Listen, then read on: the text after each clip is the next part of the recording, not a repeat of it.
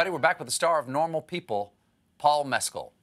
We had Saoirse Ronan on the show a few years ago the, for the first time she was on. She's been on many times now, but she gave me a couple of hints on how uh, the non-Irish can get an authentic Irish accent.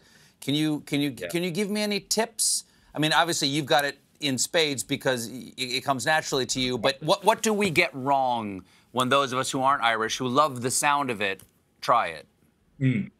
I feel like the a general rule of thumb is with the like a a ors or like I don't know how like the, like if you were to say car far uh, that's all the aors I know um but it's like that it's it's that kind of hard or it's r Car. That's I right. Car.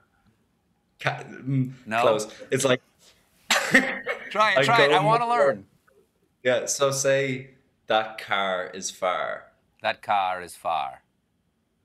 Oh Yeah, God, you hated that. You are being nice. You are being so nice. One more time, please.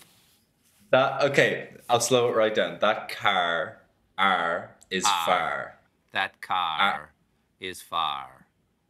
Yeah, that's pretty good. Well, you're awfully nice.